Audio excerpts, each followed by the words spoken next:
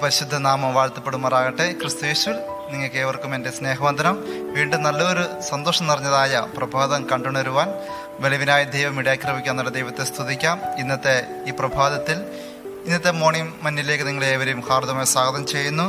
ഇന്ന് നമുക്ക് നൽകപ്പെട്ടിരിക്കുന്ന ഭാഗം ക്രിസ്തുവിന്റെ വരവിന്റെ നാളും നാഴികയും എന്നുള്ളതായ ഭാഗത്തെക്കുറിച്ചാണ് നമ്മളിന്ന് പഠിക്കാനായിട്ട് പോകുന്നത്. നമുക്ക് നൽകപ്പെട്ടിരിക്കുന്ന വേദവാക്യം മത്തായുടെ സുവിശേഷം അതിന്റെ ഇരുപത്തിനാലാം അധ്യായം മുപ്പത്താറാമത്തെ വാക്യം.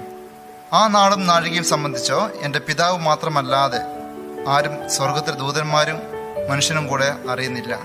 ഈ കേട്ടിരിക്കുന്ന വചനപ്രകാരം കർത്താവായ യേശു ക്രിസ്തുവിനെ വരവിനെ സംബന്ധിച്ച് നമുക്ക് ദൈവത്തിന്റെ വചനങ്ങളൊക്കെ നമ്മളെ ഓർമ്മപ്പെടുത്തുന്നത് അനേകം സംഭവ വികാസങ്ങൾ നമ്മളെ ചൂണ്ടിക്കാണിക്കുമെന്നുള്ളതാണ്. ഈ ലോകത്ത് നടമാടുന്നതായ ഓരോ കാര്യങ്ങളും നമുക്ക് കാണാൻ സാധിക്കുന്നത്. പ്രകൃതി ദുരന്തങ്ങൾ ഈ ലോകത്ത് ആഞ്ഞടിക്കുന്ന മഹാമാരികൾ ഓരോ ജനം കഷ്ടത അനുഭവിക്കുമ്പോൾ ഇങ്ങനെ ഓരോ പ്രയാസങ്ങൾ ഈ ലോകത്ത് നടമാടുമ്പോൾ ലോകമൊക്കെയും ഭൂകമ്പത്താലും യുദ്ധങ്ങളാലും പ്രയാസം അനുഭവിക്കുമ്പോഴും ഇപ്രകാരമുള്ളതായ കാര്യങ്ങളൊക്കെയും ഈ ലോകത്ത് സംഭവിക്കുമ്പോൾ മനുഷ്യപുത്രന്റെ വരവ് അടുത്തിരിക്കുമെന്ന് വചനം വളരെ വ്യക്തമായി നമ്മളെ ഓർമ്മിപ്പിക്കുന്നു. അങ്ങനെ നാം ഈ ഓർമ്മപ്പെടുത്തൽ ഓർത്തിരിക്കുന്നതായ അറിഞ്ഞിരിക്കുന്ന നാം ഓരോരുത്തരും ക്രിസ്തുവിന്റെ വരവിന് വേണ്ടി ഒരുങ്ങേണ്ടവരായിരിക്കുന്നു എന്നുള്ളതായ പരമപ്രധാനമായ സത്യത്തെ നാം മറന്നു പോകരുത്. ഇതോടൊപ്പം തന്നെ ഈ ക്രിസ്തുവിന്റെ വരവിന് വേണ്ടി ഒരുങ്ങിയിരിക്കുന്ന ഈ നിമിഷം ഈ നാഴിക എന്ന് പറയുന്നത് അതെങ്ങനെ മനസ്സിലാക്കാം എന്ന് അറിയുന്നതായ വിശുദ്ധന്മാരെ കുറിച്ച് അവിടെ പറഞ്ഞിട്ട് കാണാൻ സാധിക്കുന്നു. വെളിപാട് പ്രവചനത്തിൽ അപ്പോസ്തനായ യോഹന്നാനുണ്ടായ ദർശനത്തിൽ പറയുന്നതായ ഒരു ലക്ഷത്തി നാൽപ്പത്തിനാലായിരം പേരെക്കുറിച്ച് അവിടെ നമുക്ക് കാണാനായിട്ട് സാധിക്കുന്നു. ഇവരുടെ പ്രത്യേകത എന്ന് പറഞ്ഞാൽ ഇവരൊക്കെ ഈ വിശുദ്ധന്മാരായിരുന്നുകൊണ്ട് ദൈവത്തിന്റെ വരവിന് വേണ്ടി ഒരുക്കമുള്ളവരായിരിക്കുന്നു നമുക്കവിടെ കാണാൻ സാധിക്കുന്നു. അവരുടെ പ്രത്യേകത എന്താണെന്ന് വെച്ചാൽ അവരൊക്കെയും ഈ ലോകത്തിന്റെ മറ്റു മോഹങ്ങളെ അകപ്പെടാതെ വണ്ണം. വചനമൊക്കെ നമ്മൾ അവിടെ ഇപ്രകാരം ഓർമ്മിപ്പിക്കുന്നു. അവർ കന്യക കന്യകരായ സ്ത്രീകളോടും മലിനപ്പെടാത്തവർ കുഞ്ഞാട് പോകുന്നിടത്തൊക്കെയും അവർ അവനെ അനുഗമിക്കുന്നു. അപ്പോൾ ഈ ലോകത്ത് നമുക്ക് കാണാൻ സാധിക്കുന്നു ഈ അനേകം ക്രൈസ്തവ വിഭാഗങ്ങൾ കാണാൻ സാധിക്കുന്നു. എന്നാൽ യഥാർത്ഥമായിരിക്കുന്ന വിശുദ്ധന്മാരുടെ അനുഭവം എന്ന് പറയുന്നത് മറ്റ് കന്യകരാൽ മലിനപ്പെടാത്തവർ എന്ന് പറഞ്ഞാൽ മറ്റ് സഭ വിശ്വാസത്തിൽ യഥാർത്ഥ ദൈവത്തെ അനുസരിക്കാത്തവർ യഥാർത്ഥ ദൈവത്തിന്റെ കൽപ്പനകളെ അനുസരിക്കുന്നതായ ദൈവത്തിന്റെ മക്കളെ എന്നുള്ളതായ ഒരു സവിശേഷം നമുക്ക് കാണാൻ സാധിക്കുന്നു. അപ്പോൾ അങ്ങനെയുള്ളതായ വ്യക്തികൾ അവർ ഒരിക്കലും മറ്റ് ഇതര സഭയിലോട്ടോ ഇല്ലെങ്കിൽ ദൈവത്തിന്റെ കൽപ്പന വിട്ട് അവർ മറ്റ് ആരാധനയ്ക്ക് കടന്നു പോകില്ല എന്ന് നമുക്ക് സ്പഷ്ടമായിട്ട് കാണാൻ സാധിക്കുന്നു. അപ്പോൾ ഇങ്ങനെ വിശുദ്ധിയോട് ജീവിക്കുന്നതായ ചില വ്യക്തികൾ അവർ അടങ്ങുന്നതായ ഒരു ലക്ഷത്തി നാൽപ്പത്തിനാലായിരം പേർ എന്ന് പറയുമ്പോൾ അവരൊക്കെയും ദൈവത്തിന്റെ വരവിന് വേണ്ടി കാതോർത്തിരിക്കുന്നു. ഇല്ലെങ്കിൽ ഓരോ സംഭവങ്ങൾ കാണുമ്പോൾ ഈ ലോകത്ത് നടമാടുന്നതായ പ്രശ്നങ്ങൾ കാണുമ്പോൾ ലോകം സംഭവിക്കുന്നതായ പ്രകൃതിയിലുണ്ടാകുന്ന വ്യതിയാനങ്ങൾ കാണുമ്പോൾ ഇങ്ങനെ ഒരുക്കമുള്ളവരായിരിക്കുന്ന വിശുദ്ധന്മാരായിരിക്കുന്ന ഈ വ്യക്തികൾക്ക് അത് മനസ്സിലാക്കാൻ എന്ന് നമുക്ക് മനസ്സിലാക്കാൻ സാധിക്കുകയാണ്.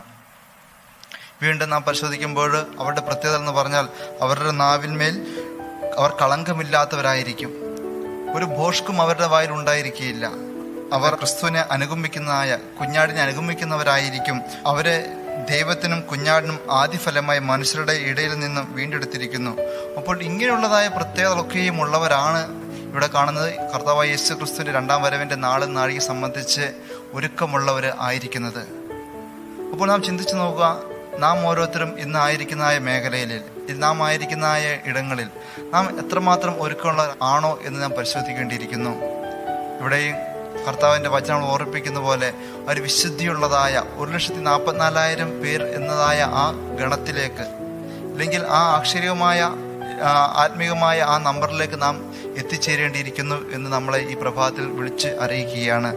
പ്രിയമുള്ള ദൈവജനമേ ഇന്നത്തെ പ്രഭാതത്തിൽ നമ്മുടെ പഴയ ചിന്തകളെ ഒക്കെ അകറ്റിക്കൊണ്ട് പിതാവി അവിടുത്തെ വരവിന്റെ നാഴിക നാളെ സംബന്ധിച്ചുള്ളതായ അറിവ് ബോധം ഞങ്ങൾക്ക് വരുത്തണമേ എന്നുള്ളതായ ആത്മപ്രചോദനമായ പ്രാർത്ഥനയിലൂടെ ദൈവം നമ്മെ ഓരോരുത്തരിടയാക്കട്ടെ അപ്രകാരം അവരനുഭവത്തിലായിരിക്കണമെങ്കിൽ ഇവിടെ ഒരു ലക്ഷത്തി നാൽപ്പത്തിനാലായിരം പേരിൽ അടങ്ങിയിരിക്കുന്നതായ സവിശേഷതകൾ പ്രത്യേകതകൾ നമ്മുടെ ഓരോരുത്തരും ജീവിതത്തിൽ കാണുമാറാകണം. എങ്കിൽ മാത്രമേ നമുക്ക് ആ വലിയ സന്തോഷത്തിൽ നമ്മുടെ പിതാവിനോടൊപ്പം വസിപ്പാൻ നമുക്ക് സാധിക്കൂ എന്ന് ഈ പ്രഭാതം നമ്മൾ ഓർമ്മിപ്പിക്കുന്നു. നമുക്ക് നമ്മൾ കണ്ണടച്ച് നമുക്ക് നിമിഷം പ്രാർത്ഥിക്കാം. നിത്യനും പരിശുദ്ധനുമായ സ്വർഗീയ വാഴ്ത്തപ്പെട്ട നല്ല പിതാവേ അനുഗ്രഹിക്കപ്പെട്ടതായ നല്ല പ്രഭാതത്തിന് അന്നിട്ട് നന്ദിയോടെ അങ്ങ് സ്തുതിക്കുന്നു സ്തോത്രം ചെയ്യുന്നു.